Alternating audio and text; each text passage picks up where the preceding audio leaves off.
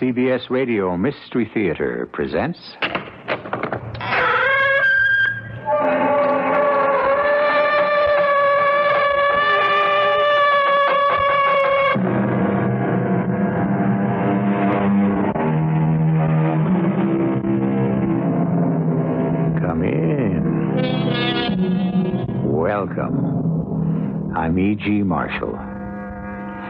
All the mathematical plane figures that exist, rhomboid, square, parallelogram, et al., the one that causes the most trouble in the human comedy is a triangle. This is the story of a very special triangle called the isosceles, the one that has two equal sides, the third unequal. Because this is a story of that phenomenon, we should consider some other actuarial figures. The chance of twin birth is about one and a quarter percent. But the varieties of twins, the least likely and the most potentially disturbing, are monozygotic, or so called identical twins, like Joyce and Janice Adams. This is what you go for, Joyce, right? Your kind of music. Sure. My thing. Yeah, you take it over Tchaikovsky. Does it matter all that much? Nothing with us can ever matter that much, or anything. So here, here, take it all, baby. Oh, what are you doing? You'll never get rid of me. Oh, ah! Adam!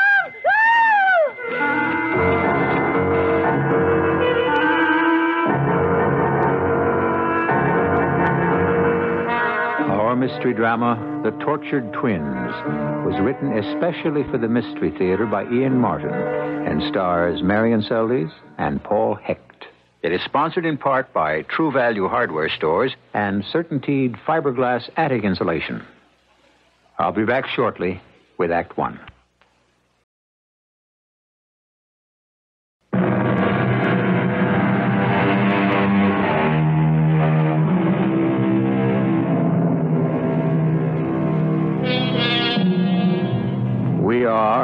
Nature and necessity hemmed in by our beliefs, our prejudices, our backgrounds, and the world we have specifically made for our own. But no one is more circumscribed in the life he lives than the actor, the performer, the one in the public eye.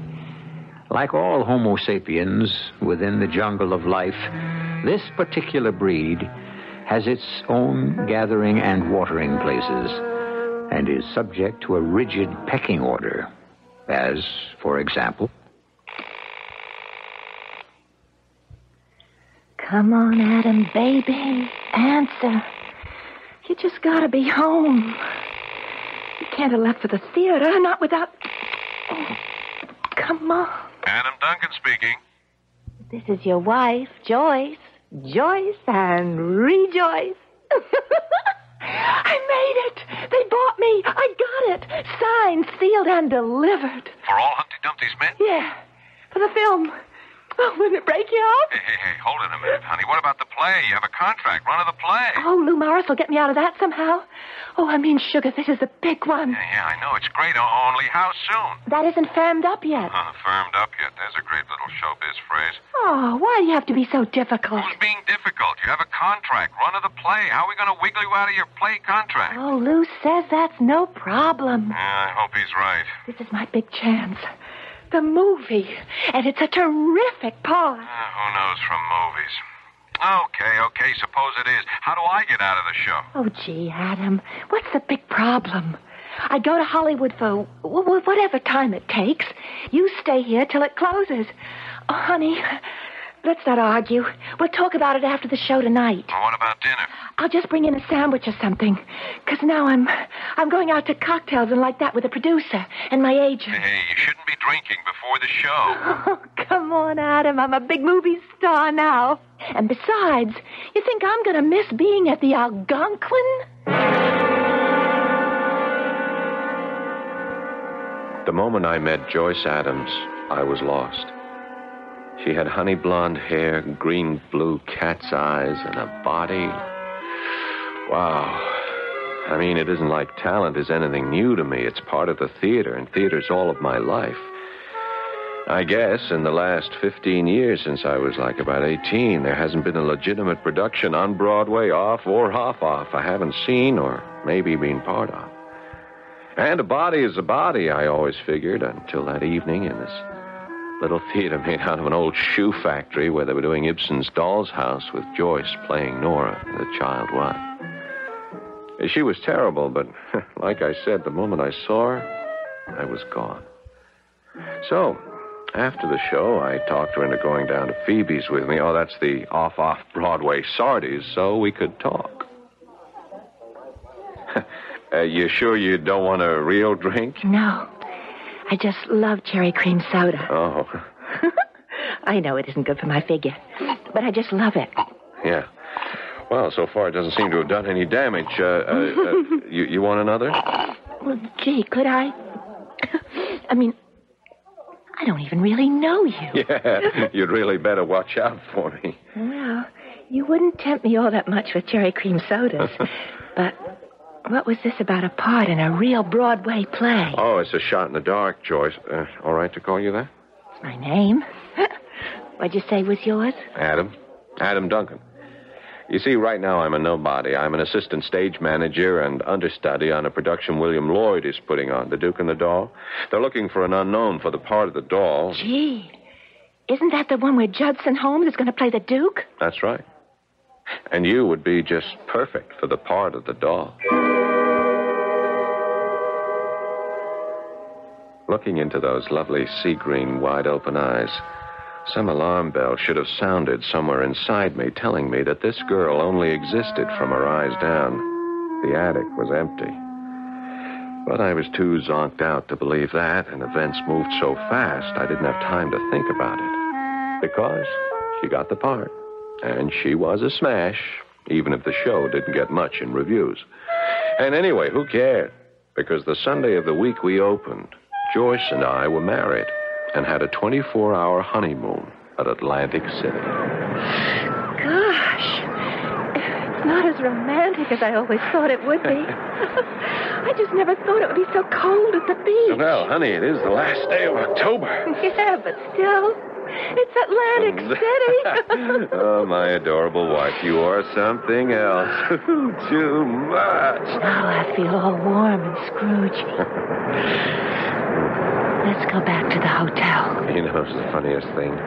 That's just what I had in mind, too. Joyce was like laughing gas. A whiff of her, and you were in orbit. The 24 hours passed on Cloud 8, and then we were back in New York and under the influence of another kind of excitement. Phones ringing, agents, offers, all the wild madness of overnight success. Oh, not the play. Joyce. And then suddenly, the plum of the year drops right in her lap. The chance to play the sex symbol in the year's hottest film property. Honey, they're waiting for us at Sardi's. Let's go. Hey, they can wait. They can wait. We've got to look a few things straight in the face. My agent has the director meeting me, too, as well as Mr. Jenner, the producer. Now, just stop a moment to talk to Mr. Adam Duncan, your stage manager and sometime husband. what do you mean, Uh, sometime? it's just a manner of speaking. Honey, you can't go signing for a movie while you're still under a theater contract. Oh, they don't need me. Mr. Holmes is a star. They can get anybody for me. Sure. That's why your phone is ringing and you're getting all the offers while this cockamamie play has no advance, and the only thing that keeps the box office alive is word of mouth about you. Well, I don't like doing the same thing over and over again. And this is new. This is a movie. What I always wanted to do. Joyce, you just don't know. It's a it's it's a jungle out there. They eat up little girls like you and spit them down the drain. The theater's something else. You mean you don't want me to be a star? I don't want you to get the fever. Nothing comes easy in this business. Oh, I don't know. I've been pretty lucky so far. Anyway, it's what I want to do. I mean, what kind of money are they talking about? Oh, that's up to Lou, isn't it? Yes and no. I mean, I mean, what are you going to live on out there? Can we swing it on our budget? Oh, I'll live with Janice, of course. My sister. Remember? It isn't exactly the best time to move in with her. I mean, she just lost her husband. Oh, he was a big mistake. Mistake or not, I thought your sister Janice was trying to sell the house. Well, she hasn't yet. And by the time she gets a buyer, we're going to be rich, and I'm going to be famous. so now can I go to Sardi's? I've never been able to go there ever before and feel really important. So we went to Sardi's, and I was a fifth wheel. But Joyce was in seventh heaven, and everything went off like the storybooks, and a star was on the way to being born. She was signed, let out of a contract with the Duke and the Doll, and off she went to the Golden Capital. Within six weeks, the show she left died, and I caught the first plane for the coast.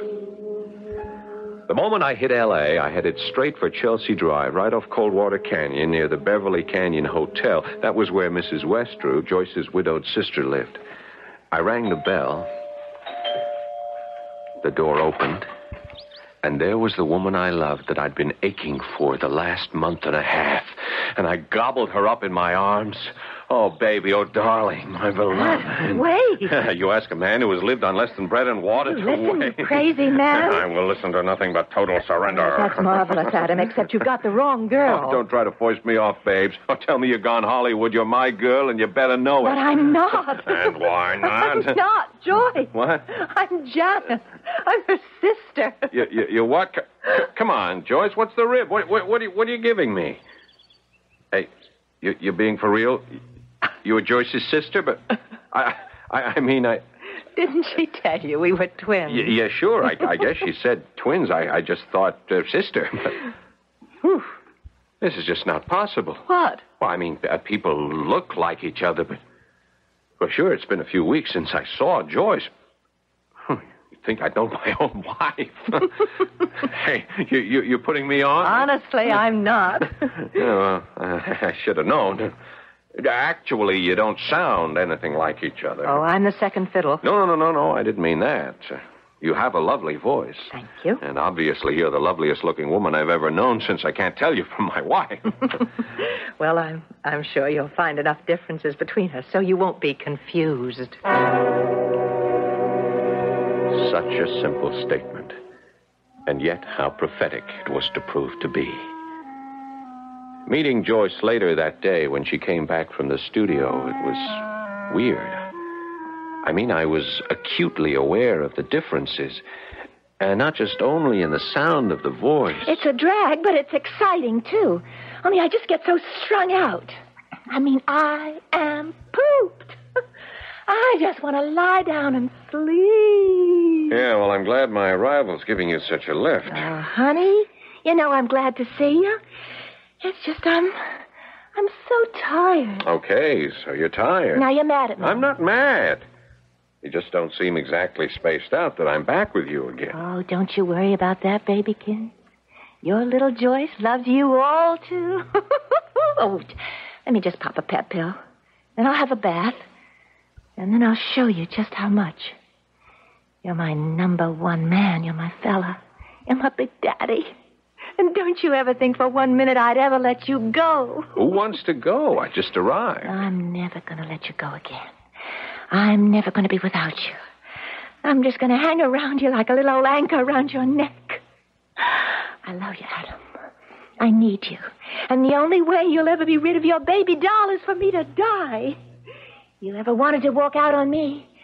You'd have to kill me first. I smothered that kind of crazy talk with a kiss.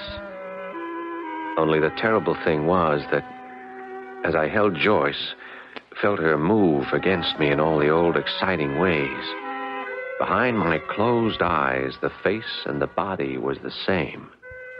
But my ears were remembering that low, musical voice of Janice's, her even, steady, amused, and gentle sureness, and the impression I'd gotten of a strong and subtle intelligence.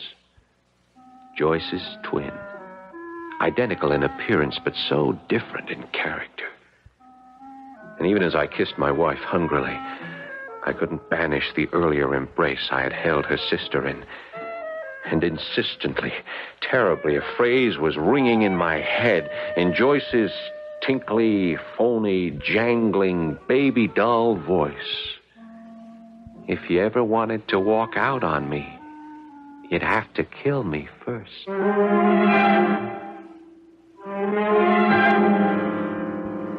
What would it be like, do you suppose, to fall in love with a woman and then find that she wasn't the only one of her kind? And if you liked the second image better, could you change partners? Or would the desire to do that lead you to incredible lengths that you could never dream of? I shall return shortly with Act Two.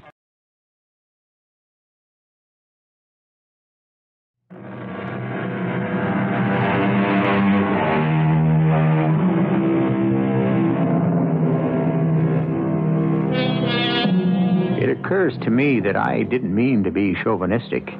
Why dwell only on the one male unequal side of our isosceles triangle? There are the other equal sides, or at least by normal measurement, that now demand some study and exploration. The females, Joyce and Janice, identical twins physically, but how diverse as individuals. How stressful or how violent will their contrasting personalities threaten the slender figure of the triangle? Three simple straight lines which presently join, but under opposing forces, could be blown out of existence. For example, Hello? Janice, it's Adam.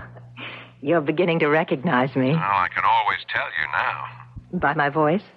By so many other things. Adam, if you want to talk to Joyce, I'm afraid you're out of luck. Oh, isn't she home from the studio yet?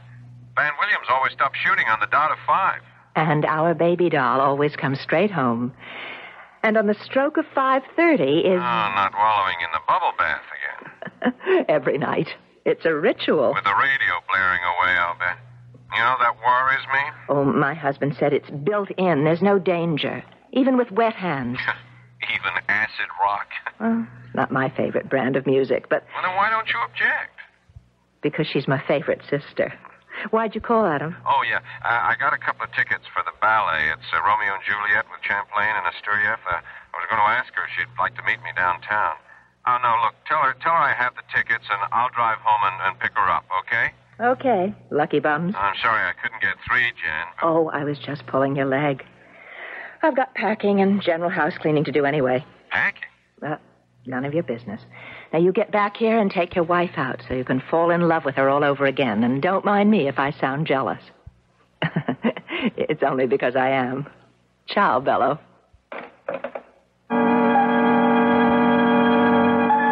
I hung up with one word ringing in my ear, churning in my stomach, shaking me up, but good. Jealous.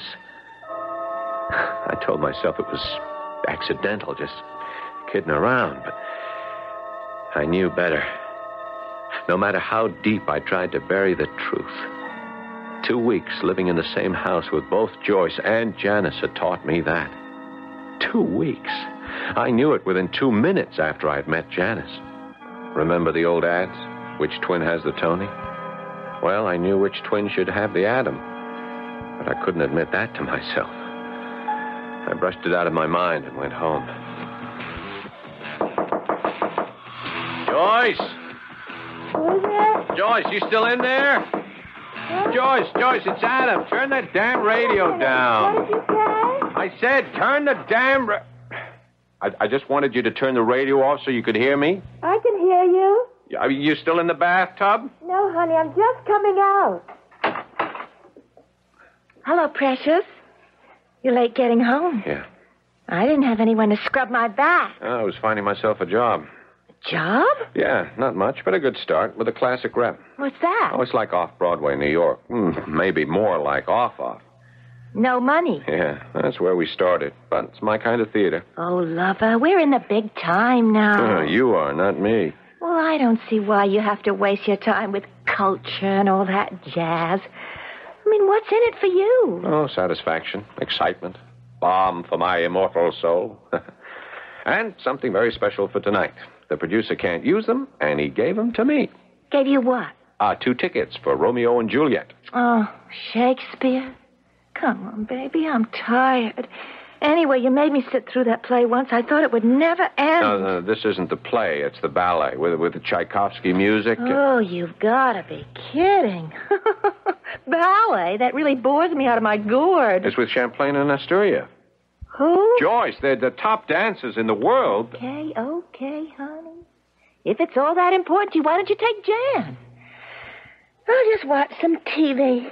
Terry Sales has a special on tonight. I just don't want to Oh, miss it. That schlock comic. He fractures me. I mean, he really lays me out. Oh, I know you don't go for him. So take Jan to the ballet.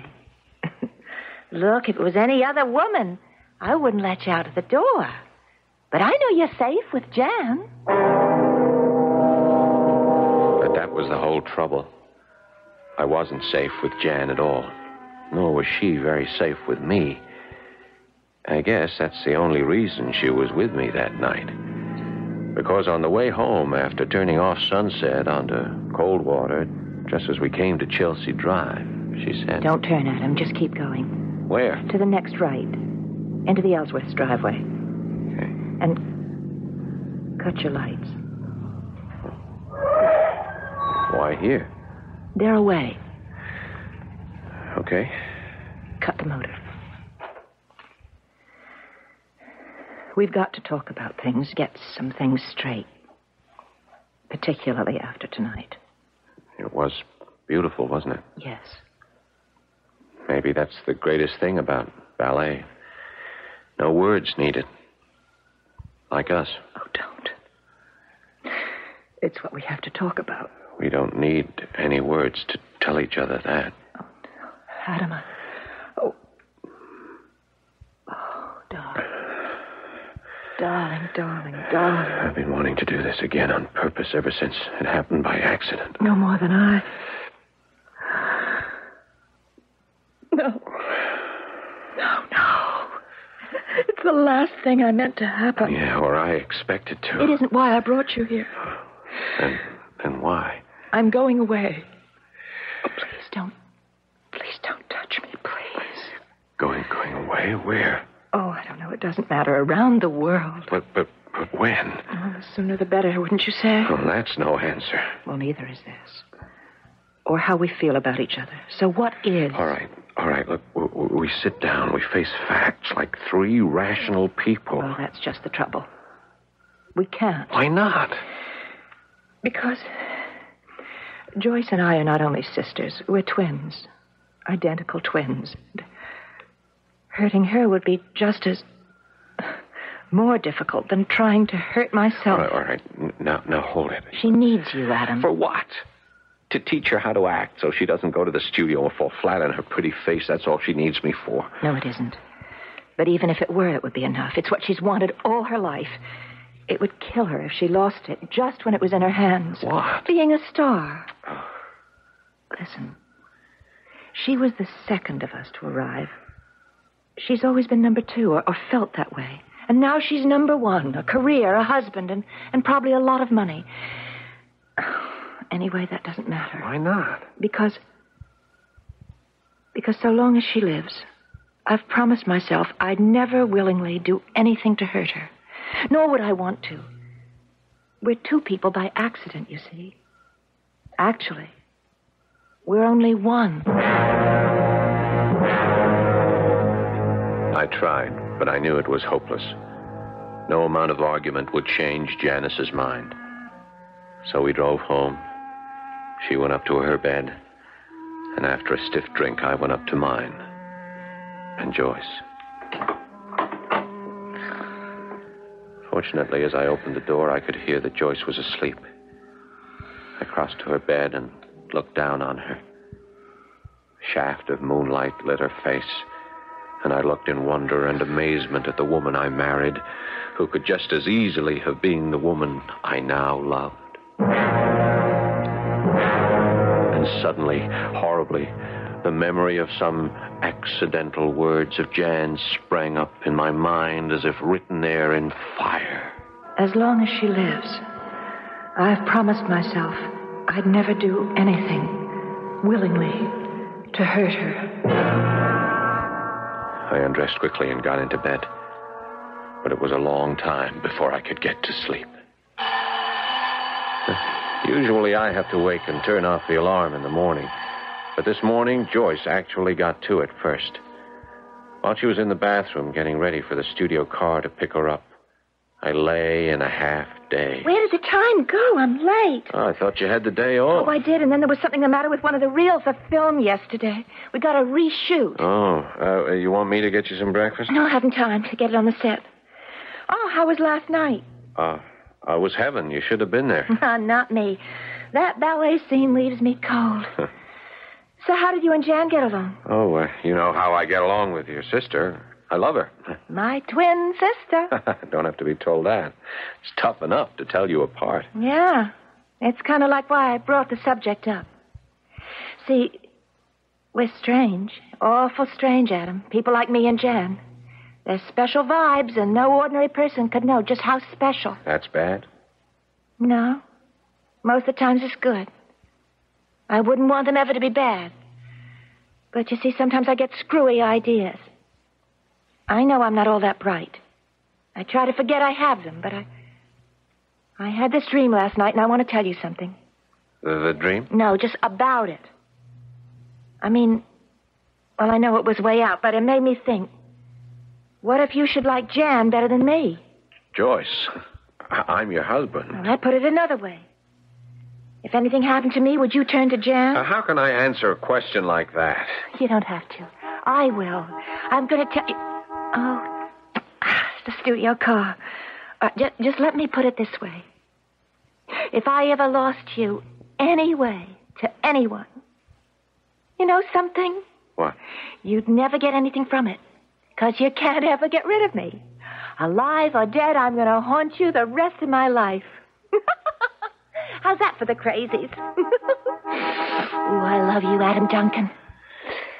Keep the home fires burning. The things that people think. It was all clear as glass. Joyce, the clinging vine who would never leave me. Jan, the woman I loved who would never have anything to do with me as long as Joyce was alive. A simple enough equation. The only escape was for Joyce to die. But how? Would I have the nerve? And how could I get away with it? Who are any of us to criticize? Haven't we all, in anger, despair, or frustration, uttered threats, sometimes out loud, or perhaps only in the mind, that were mad enough to kill someone, or you drive me so crazy I could murder you? But of course, none of us ever did anything about it. Will Adam Duncan? I'll return shortly with Act Three.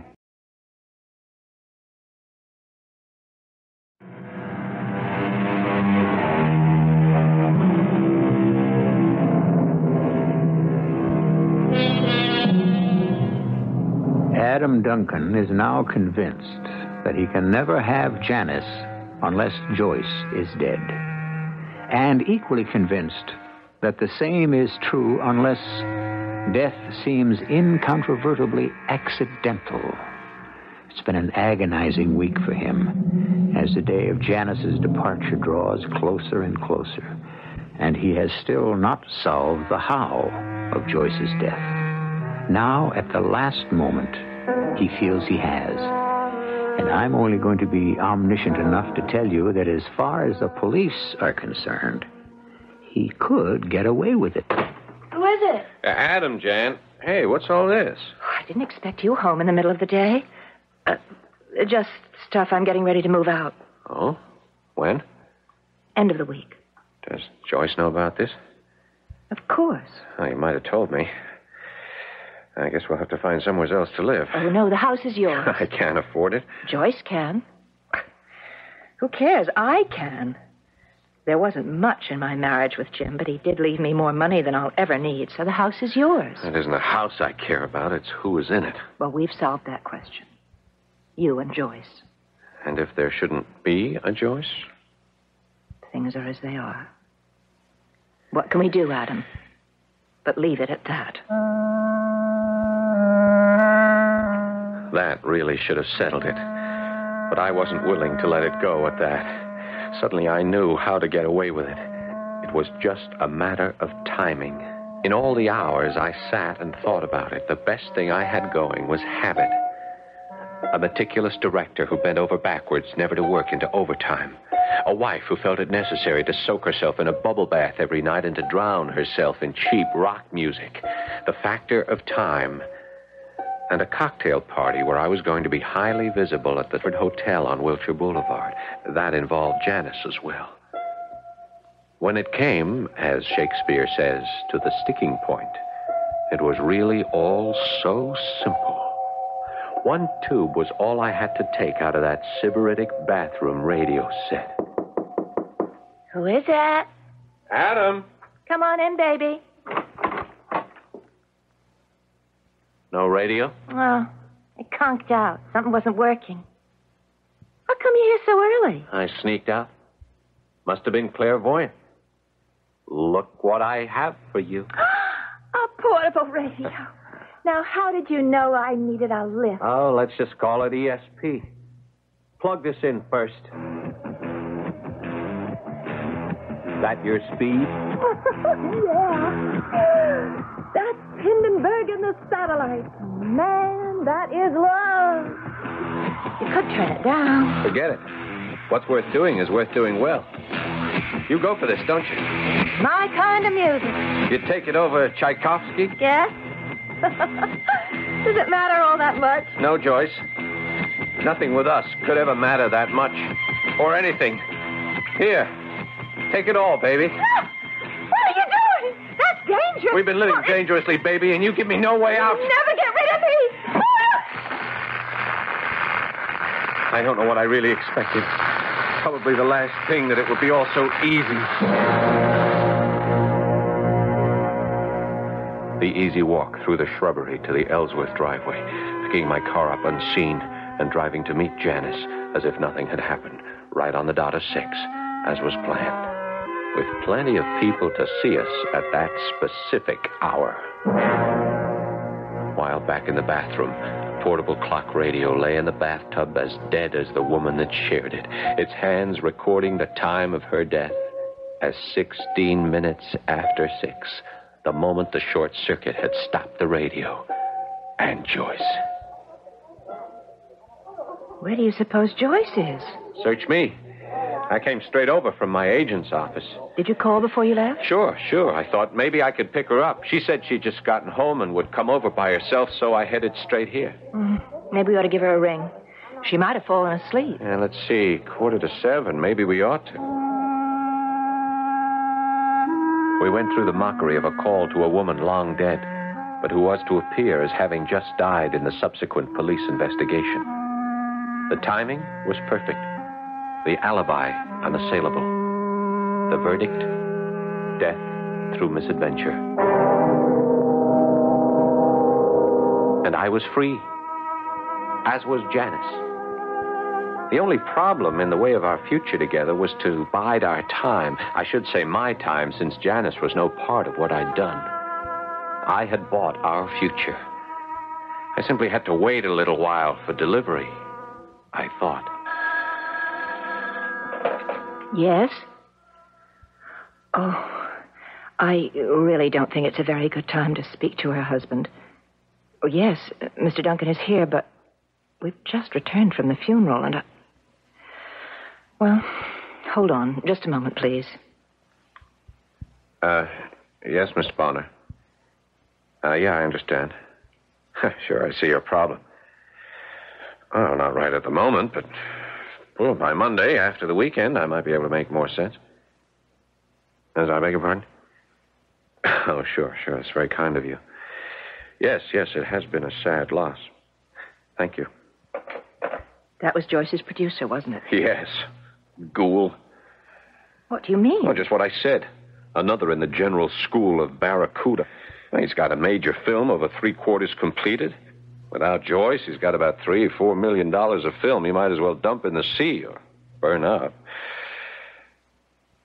Unless. Unless what? Well, do I have to tell you? Oh, no.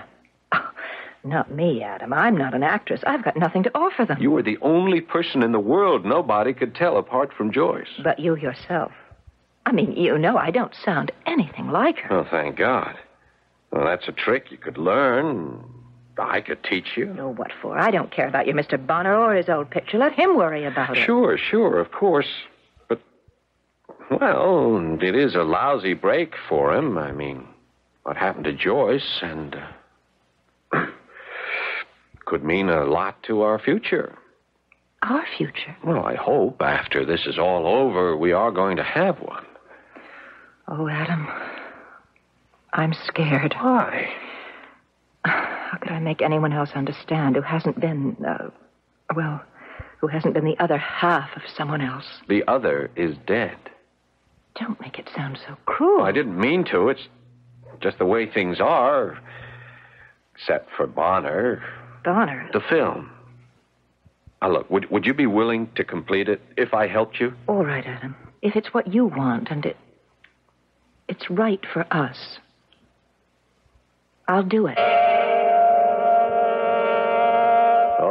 I was the mastermind. I held all the strings in my hand. I knew just what I was doing, and I was invincible. For what I offered a lost director and a frantic producer with a three to four million dollar bomb on his hands, I was set for life. If I could only teach Janice to sound as much like Joyce as she looked. You wanted me dead. How can you dare to resurrect me? Resurrect me. It was a dream. Joyce's voice in my ears. Sure, I had been recalling it, but in memory, not in actuality. Was I awake or asleep? Joyce, Joyce, is that you? Oh, Who else? You, you, you, you're dead.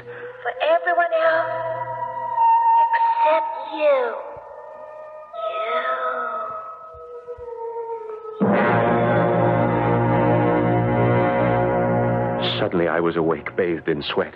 Joyce was dead. I had gotten rid of her. How could she be alive?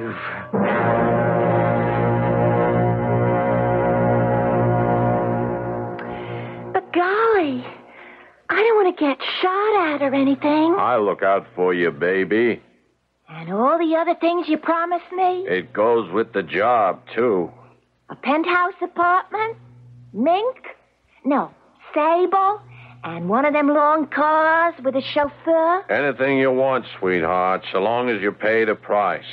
What's the price? You never know that till someone hands you the bill. Hey, Jan, this is great. That I can sound like my kid sister? Oh, like in the flesh. Oh, I wish you wouldn't put it that way. She is dead, you know. Yes, I guess I ought to. But sometimes I wonder if you do. Look, if it means so much, yes, I'll fill in and finish the movie, but after that, I only want to be myself. Most people don't know the tedium, the endless amount of takes, the close ups, the medium shots, and of course the master shots that cover everything. It would be hard to explain to the average person that a simple phrase like, I love you, might have to be repeated again and again, maybe 20, 30, 40 times. And not necessarily the way you might want to say it yourself, but patterned and inflected, just as the director, the producer, the power behind the camera might dictate. And so, for six or seven endless weeks, Janice submitted herself to the forces which had shaped her twin sister. And finally, the picture was over, and she came home. Finished, Adam. Hey, today was the wrap? Yep. Oh, that's great, Jan. What a relief. You're really all that happy, sweetie pie? of course. Now you don't have to sound like Joyce anymore. You can be yourself. I can be what? Yourself, Janice, the woman I loved. But I am the woman you love. Come on, Janice, knock it off. You don't have to sound like that silly kid sister of yours. You mean the woman you married? I mean the woman I married the second time. What? Come on, honey, what are you doing to me? I married Joyce, which was a mistake. Then I married you, which was the best thing I ever did in my life. Are you so sure? I mean, baby, baby, sweetheart. You love me all that much? Okay, okay, Janice, cut it out. Janet? Are you all right?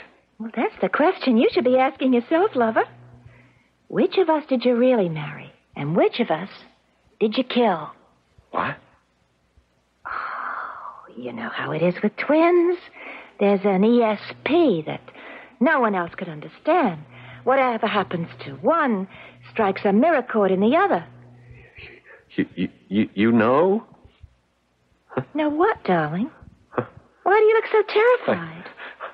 I, I, I, I don't know. I, I, don't, I don't know what to say. I, I don't even know who you are. Your wife, darling. I can answer that. Yeah, I, I, I, I know, I know, but, but, but, but which, which one? Which? But won't it be interesting for you to try to figure out? No. I mean, since I have the money, where can you run? No. Whatever you paid into this marriage, I promise you you'll get exactly what you bought. So think of me as I am, big lover, or as you made me, because I'm yours till death do us part.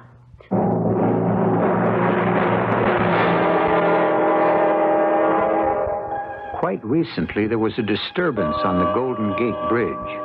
A man had climbed into the superstructure with the object of committing suicide. Despite heroic efforts by the police, the man, an unemployed member of several theatrical unions, plunged to his death. He was identified by his wife, a resident of Los Angeles, as Adam Duncan. I'll be back shortly.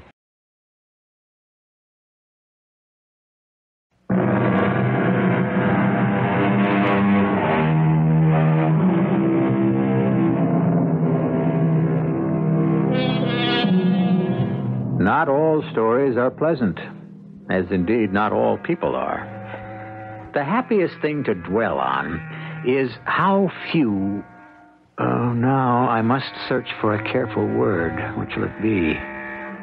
Well, let's let's settle for an old-fashioned word: rotters, no-gooders. Anyway, human beings with nothing much to recommend them get away with murder, or do they? Certainly not in my stories. They always have to pay when it comes to the end. Our cast, Marian Seldes and Paul Hecht. The entire production was under the direction of Himan Brown. Radio Mystery Theater was sponsored in part by Buick Motor Division. This is E.G. Marshall inviting you to return to our Mystery Theater for another adventure in the macabre. Until next time, pleasant dreams.